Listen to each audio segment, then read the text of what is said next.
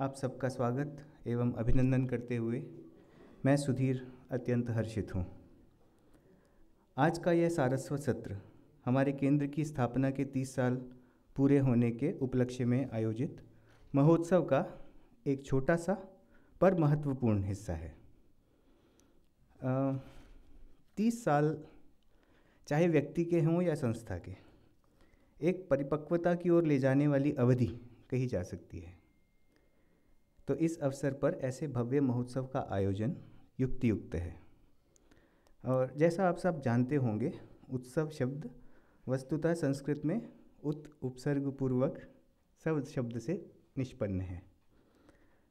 सब का अर्थ होता है दुख। तो दुखों का निवारण करने वाला जो है वो उत्सव होता है अर्थात खुशी फैलाने वाला। आ, मैंने कहा था कि छोटा सा पर महत्वपूर्ण। छोटा सा इसलिए कि केवल लगभग दो घंटे चलेगा ये सत्र।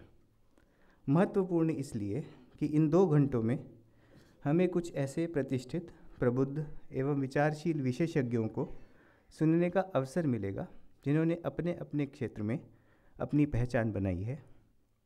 और ये एक ऐसे विषय पर हमें आलोकित करेंगे, जो हम सबसे संबद्ध है, पर जिस पर अभी एक सुव्यवस्थित संवाद का अभाव है।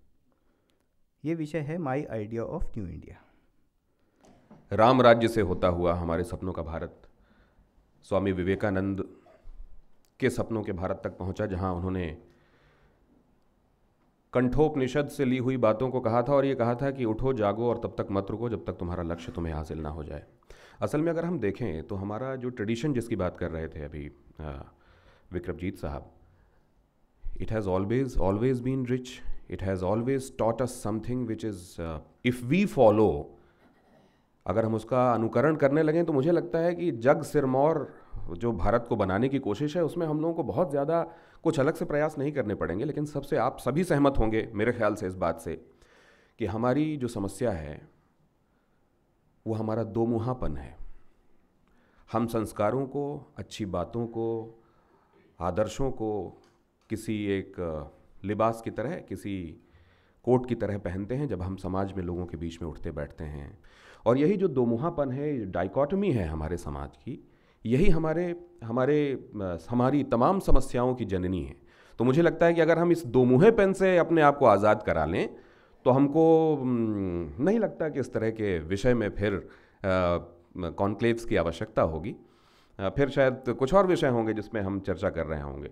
आइए अब इससे आगे बढ़ते हुए चलें और हरीश वर्णवाल साहब, क्योंकि उन्होंने ये जो हम जिस पर चर्चा कर रहे हैं my idea of new India ये असल में इसका जो अंकुरण हुआ है, वो हमारे प्रधानमंत्री जी की जहनीत से हुआ है और मोदी पर सूत्रवाक्य लिखने वाले व्यक्ति से बेहतर कौन पढ़ सकता है उस मन को, जहाँ वसुधैव कुटुम्बकम को, सहना भुनक्तु सहनो, सहना भवतु, सहनो भुनक्तु सह वीरम करवा भाई या अनुभद्राह कृत भोजंत, जिसको वो अपना सपनों का भारत बता रहे हों my idea of new India बता रहे हों।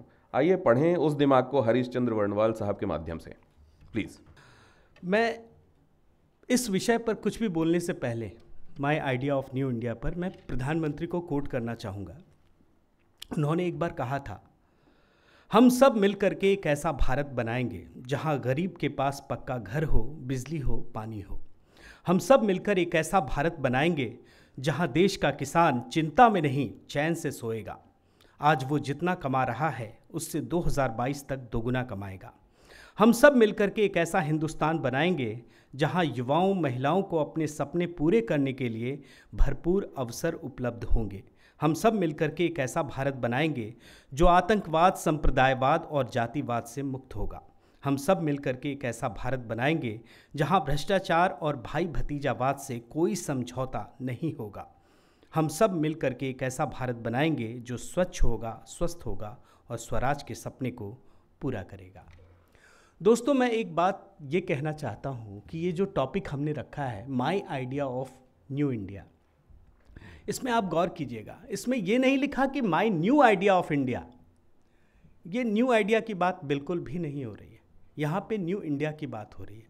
इस फ़र्क को समझना इसलिए बहुत ज़रूरी है क्योंकि हमें, हमारे बीच भी जितने लोग बैठे हैं, अगर दस लोग भी हम अगर परिचर्चा करें तो इन दस में सौ आइडिया निकलेंगे। हर इंसान के पास पचास आइडिया है, सौ आइडिया है। और हर कोई जब एक दूसरे से बात करता, आप कोई बिज़नेस भी शुरू कर रहे हैं, कुछ नया काम शुरू कर रहे हैं, स्टार्टअप कर रहे हैं तो आप अगर आपस में बात कीजिए तो सबके, सबको लगता है कि यार मेरा तो बड़ा यूनिक आइडिया है। हम हर किसी के पास यूनिक आइडिया है और ये भी बोलता है कि किसी और को बोलना मत। लेकिन आप यकीन मानिए, आपके पास दस हज़ार आइडिया हों और हर आइडिया में ताकत होती है। अगर आप उसके पीछे दिल से लग जाएँ तो हर आइडिया सक्सेसफुल होता है। लेकिन उसके पीछे आपकी एक लगन होनी चाहिए। तो कुल मिलाकर मेरा ये कहना है कि जो नए भारत की बात हो रही है, वहाँ नए आइडियाज़ की बात नहीं हो रही है। ऐसा कुछ भी नहीं है कि एकदम आउट ऑफ़ द बॉक्स आपने निकाल के रख दिया और देश बदल गया। मतलब ऊपर से कोई एक जादूगर आएगा और सब कुछ बदल के रख देगा। ऐसा कुछ नहीं होने वाला है इस देश में। कुछ भी नहीं है, ना होगा, ना कभी हो सकता है। ये सिर्फ़ नव भारत की बात हो रही है न्यू इंडिया की बात हो रही है। नए भारत की जब हम बात करते हैं तो इसमें हमारी ज़िम्मेदारी, हमारे समाज की ज़िम्मेदारी बढ़ जाती है। अब आप कहेंगे कि नया भारत क्या है? प्रधानमंत्री ने एक छोटी सी बात कही, स्वच्छता अभियान चलाओ। आप सोचिए, हम अपने घर को साफ़ रखते हैं, बाहर गंदगी फैलाते हैं। अगर हम इसी गंदगी को बाहर भी साफ़ रखने लगें तो क्या नया भारत नहीं बनेगा? आज प्रधानमंत्री बिजली बचाने की बात करते हैं। छोटी छोटी बातें, मुझे याद है कि एलईडी की बात कर रहे थे तो लोग हँसते थे कि क्या यार, इतना बड़ा प्रधानमंत्री एलईडी की बात कह रहा है, साठ रुपये में एक बल्ब दे देंगे। लेकिन उसी एलईडी बल्ब से आज देश में कम से कम पच्चीस तीस हज़ार करोड़ रुपए की बचत हो रही है। तो कुल मिलाकर ये पानी की बात करते हैं कि पानी बचाओ। ये जो छोटी छोटी चीज़ें हैं, यही नए भारत के निर्माण में सहायक हो सकती हैं। मतलब आप, अगर हम ये सोच रहे हैं कि कोई नया आइडिया आकर के चीज़ों को बदलेगा, ऐसा कुछ नहीं होना। और कोई कुछ भी नहीं करेगा।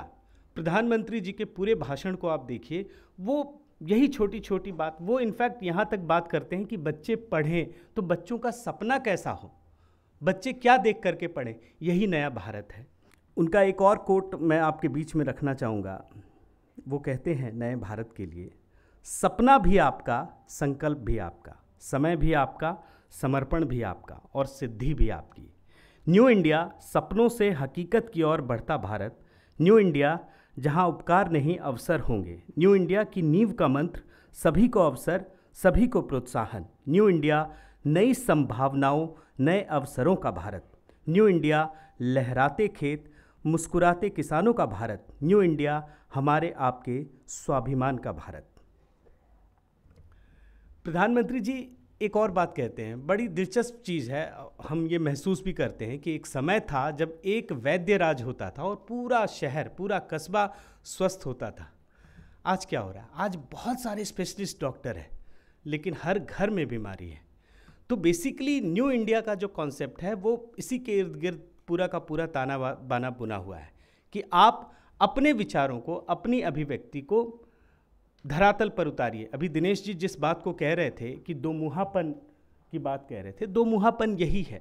हम घर में स्वच्छता की बात करते हैं, यहाँ अगर बात करेंगे, वहीं अपनी गाड़ी ड्राइव कर रहे होंगे तो कूड़ा निकाल करके फेंक देंगे, कुछ भी खाएँगे, बाहर फेंक देंगे।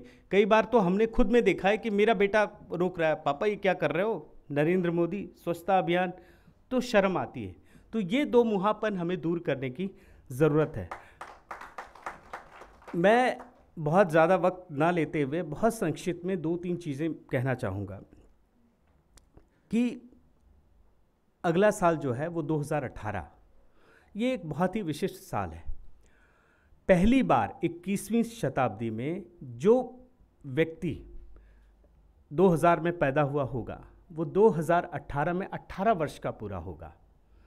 तो 21वीं शताब्दी का जो पहला नवयुवक होगा, वो एक जनवरी जिनकी डेट पूरी होगी, वो फिर एक नए, नया भारत की एक परिकल्पना दे रहा हूँ मैं बेसिकली कि हम उन लोगों को अपने समाज से और ज़्यादा प्रेरित करें, उनको समाज से जोड़ें और उनको आगे बढ़ाएँ।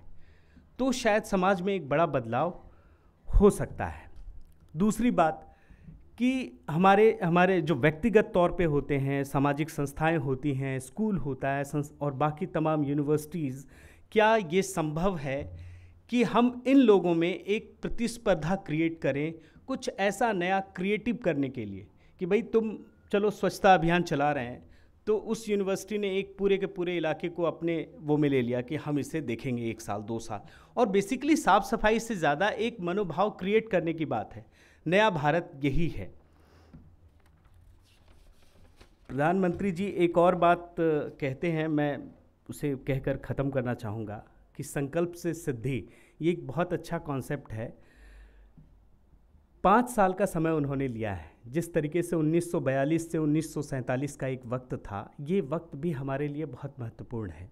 अगर हम आज से, अभी से कुछ ऐसा संकल्प ले लें कि हम अगले पाँच साल में कुछ नया करेंगे तो यकीन मानिए, नया भारत बनने में कोई समय नहीं लगेगा, कुछ नहीं लगेगा, और जितनी बड़ी बड़ी बातें हम यहाँ कर रहे हैं, उसका कोई मतलब नहीं है कि इतने आइडियाज़ दे दिए, वो आइडियाज़ आप घर से ही इसकी शुरुआत कर सकते हैं।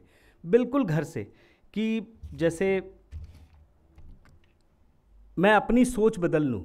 एक वाक़ है, एक तुलना वो अक्सर करते हैं कि स्वतंत्रता आंदोलन के समय में जो भी व्यक्ति कुछ भी काम कर रहा था अगर वो जूते चप्पल का काम कर रहा है, वो प्रेस छाप रहा है, वो कुछ भी कर रहा है, हर इंसान स्वतंत्रता आंदोलन से अपने आप को जुड़ा हुआ महसूस करता था। उसको लगता था, जी, मैं कुछ अच्छा काम कर रहा हूँ। जैसे एक एग्ज़ाम्पल देता हूँ, कोई जूता ठीक कर रहा है, कोई स्वतंत्रता सेनानी आ गया तो उसने उसका फ्री में ठीक कर दिया। तो उसको भी लगा, जी, मैंने तो कुछ कर दिया। जो मेरे लायक है, कोई कविता लिख रहा है, कविता उसने लिख दी और उसने अपने आप को ये महसूस कर लिया कि हमने तो कुछ योगदान दिया है। यही भावना इस समय डेवलप करने की ज़रूरत है। हम हर काम में ये सोचें कि मेरे काम से देश का अहित ना हो। अगर हम बाहर कूड़ा फेंक रहे हैं तो क्या हमको ये सोचना चाहिए कि इस कूड़े को फेंकने से गंदगी फैलेगी या कुछ गलत होगा? तो ये एक चीज़ है जो हमें करनी चाहिए। एक मेरा मानना है कि क्या हम ऐसा कर सकते हैं कि अपने से कमज़ोर किसी एक व्यक्ति को ऊपर उठाने की कोशिश करें। अपनी कमियों से जो हम चीज़ें भुगत रहे हैं उन चीज़ों से अपने आप को जोड़ते हुए धरातल पर कुछ नई चीज़ें क्रिएट करें। और ये बहुत छोटी छोटी चीज़ें हैं, यकीन मानिए, इसमें किसी आइडिया की ज़रूरत नहीं होती, कुछ नहीं होता, सिर्फ़ कर देना होता है। और यही है मेरे सपनों का नया भारत, और इसी दिशा में हम लोगों को आगे बढ़ना है। बहुत बहुत धन्यवाद।